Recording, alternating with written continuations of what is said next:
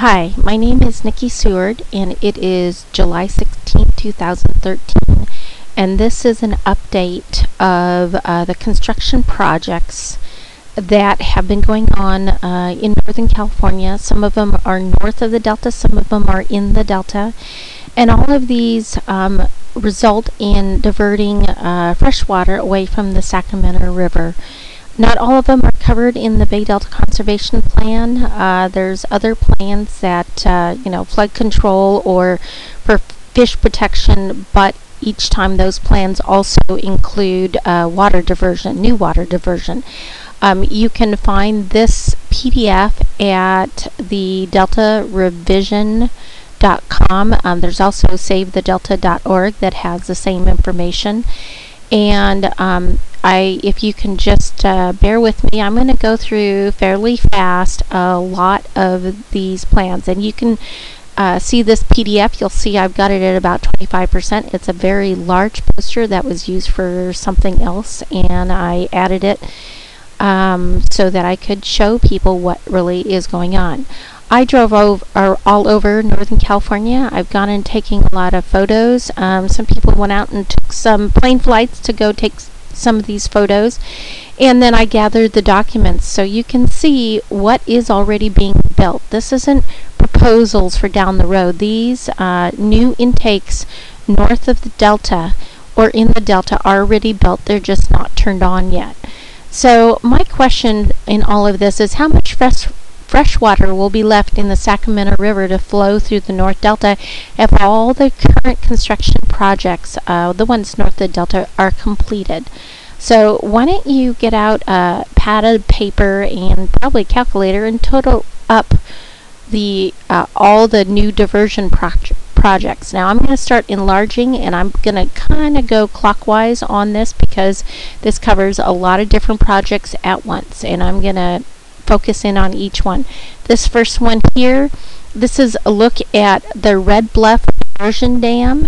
Um, I think I will try and move this over a bit so you can see it. Um, this document right here, this is a sketch of what they've done and it is a fish screen. It's built as a fish screen, but it's also uh, diverts water from the Sacramento River just below uh, uh, Shasta and diverts it into um, existing canals. And there's a proposal to take some of that water and divert it over to what would be a new uh, Sites reservoir. This would be a new private uh, owned, it appears to be reservoir, and it would be taking new uh, water away from Shasta that used to flow on the Sacramento River. So that's one project. Um, this diversion dam has been built but not turned on, I don't believe but the sites reservoir has not. It's in the proposal save. This map right here that I have in this document kind of shows you where these projects are generally. Okay, so now I'm going to go to another project. If you look at this map, I'm going to put this map center. This this is north of the delta. This region right here is the delta, even though this the the map came from a DWR website and it doesn't show all the waterways of the delta, I wanted to see the, the re regions where we're talking about. So here's another project I want to focus on. It is Folsom um, Lake.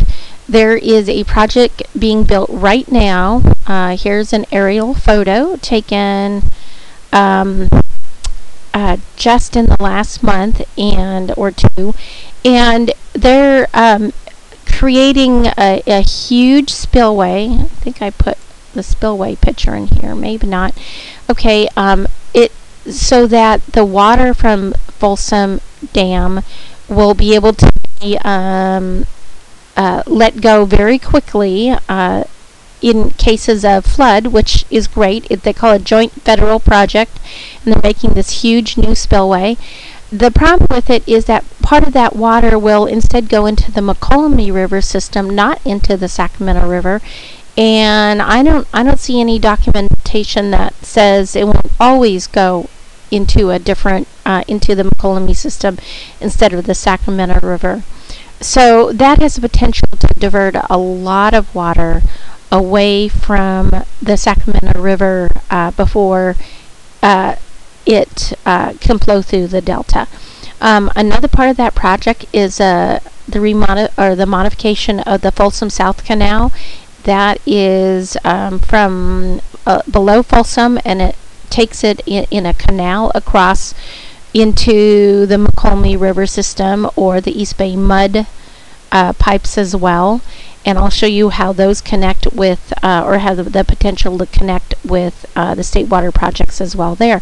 But I'm, I'm, what I'm showing is that the Folsom water would go over to the uh, San Joaquin watershed through the Mokelumne River system instead of flowing into the delta as it used to once all that is done. It's called the Flood Protection Project, but it's also uh, primarily a, a, water diversion project. So I'm going to point out another one. This is, uh, you see this area here. If you went up the Garden Highway, just take a nice little drive, and uh, it's a very pretty drive. You can just follow Garden Highway, and you will find these new freshwater intakes. One's called Poundstone. Um, there's a Wilkins Slough, but that's not right on the Garden Highway. But uh, so, for example, um, just take a drive along the Garden Highway or drive over uh, north of the I Street Bridge, and you'll see there's a a newer water intake that they uh, talk about expansion. There's a new water intake uh, north of Sacs uh, expanded water take north of uh, Sac State on the Feather River. This particular uh, Poundstone one is on the Sacramento River. And go ahead and take a drive along the Garden ha- Highway. You'll see the new super fat levees and the new intakes that are, are there now, but I don't know if they're turned on.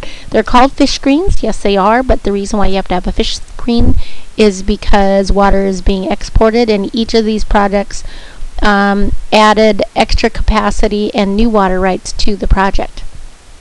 So now I'm going to uh, look at something else. Um, let's see. So there's those are a couple of the pictures. Um, okay, so uh, a couple of the other ones. Um, so this is a picture of the one over in Freeport. You know about that, I believe, um, or you should. And um, is that the Freeport one? Okay, maybe that's a different. I I went to so many different places by water and land and air and all that stuff. So this this one is existing one by Sac State that they propose to expand. This one, I believe, is the Freeport just up close um, here is the other one north of the I Street Bridge.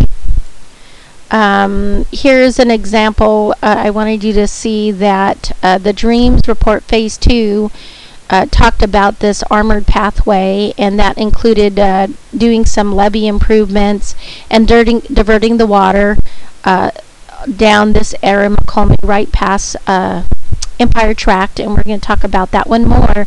But that matches, oh, let's see if I can make it bigger.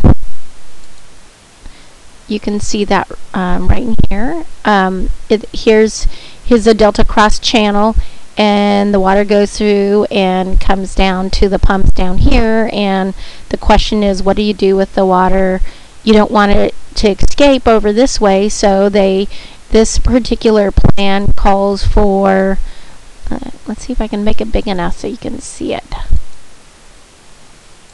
Okay, so you see that this is the four gates or five gates project that uh, if they do that would be terrible for certain areas of the this uh, this part of the delta, especially Discovery Bay. Uh, we're going to look at more ab about that one. The elements, some of the elements of this particular project are being built right now. So one of those elements um, is is to uh, widen this area for exports, and that includes the McCormick Williamson tract. Even though McCormick Williamson is billed as a restoration project, it is um, actually going to receive the floodwaters when uh, Folsom uh, South Canal and the Folsom Dam gets expanded.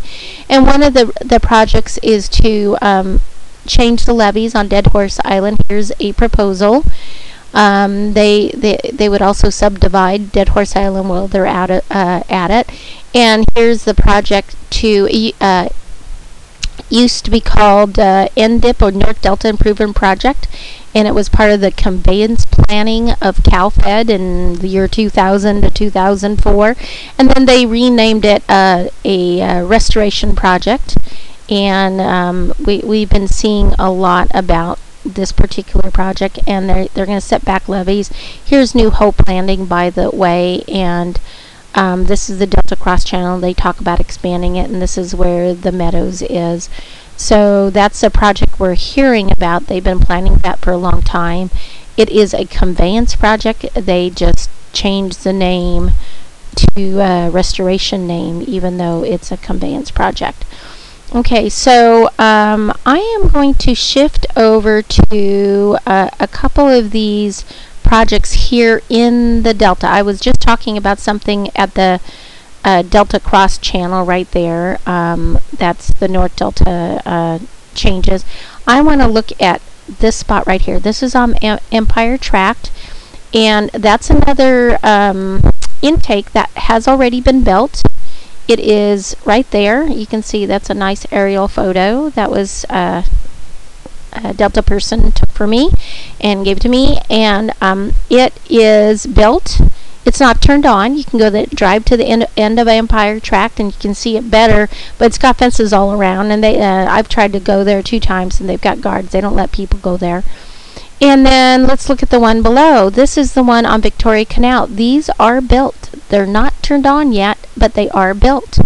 And um, what's kind of interesting about those two projects is that that uh, DRMS Phase 2 report talks about uh, having water siphoned under a river. And so this photo right here, well, this drawing, I think I'll enlarge that one too so so you can see it better. Um, it refers to right here this drawing that's like that's how they would take the water and have it go underneath the San Joaquin River from Empire Tract and and possibly have it go over to Bacon Island for in Delta storage or um, over to maybe the export pumps at Clifton Court Forebay. That's not clear where that goes. So um, maybe it just goes right back into uh, Old River, San Joaquin River for export. Um, so here's a picture I took. It's pipes. Oh, I'm not sure if that's one of my pictures. It's um, pipes are going on uh, in in different places. Or going um, on Empire Tract. We saw pipes uh, go in. We also saw them uh, go in. Um, I went over to Bacon Island and those areas and saw a lot done. Um, and th there, here's another map. I'm gonna make this one a little bit bigger. These are all things that are built. This is not proposed down the road. They just haven't all been turned on.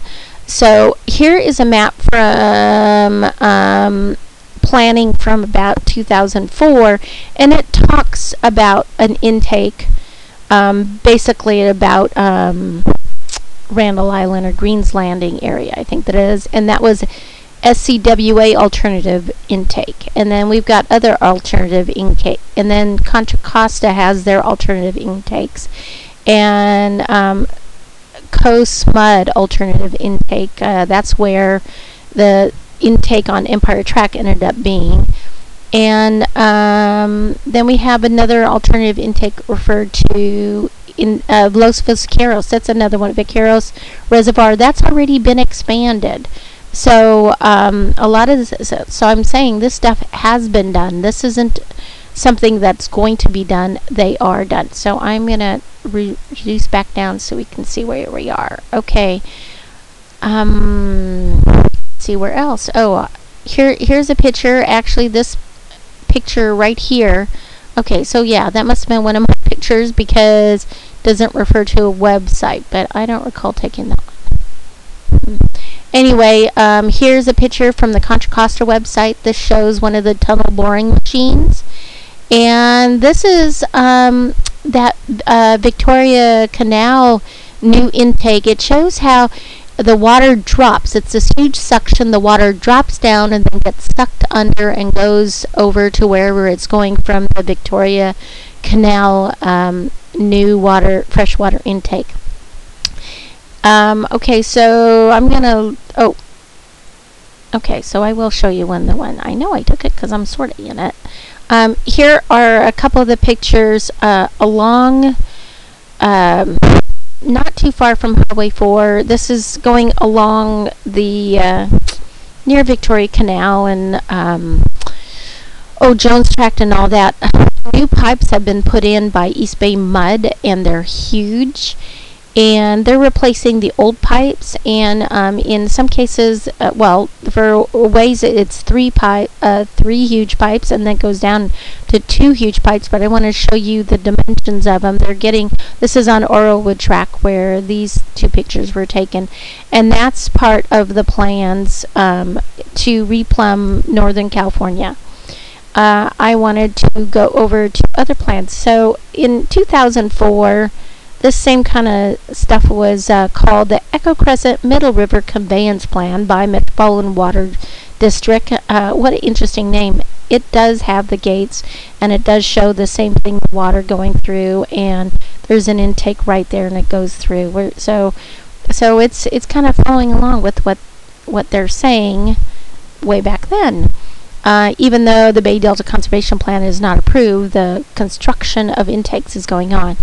This photo right here is of uh, improvements uh, to Bacon Island. Uh, uh, I didn't happen to take this photo, but I was told it is the Bacon Island. I went by land and saw that very huge uh, levees have been, um, the levees at Bacon Island and um, Jones Tract in those areas have been greatly improved. Uh, Bacon Island is one of the proposed in Delta water storage uh, facilities, so maybe that's what that's for. They did ask for new water rights, and I know I was at the U.S. Army Corps of Engineers meeting that um, where they were. Uh, I assume they ended up. I did not stay for the end of it. They they were talking about approving the plan, the EIR EIS for for the work for in Delta water storage. Um, I wanted to go back to the CalFed preferred alternative from the year 2000. Um, the very elaborate project uh, that most Delta people didn't know was going on, and you can see that it included just all these things that I've been talking about. Uh, the conveyance portion of it was to widen the Mokelumne to get the water going on down. Uh, at that point in time, they were talking about using this route Instead, because you can see there's that intake over here, they've gone this route and then gone this way and like this. And that's why the uh, the intake for Contra, Water, Contra Costa Water District ended up on Victoria Canal over here.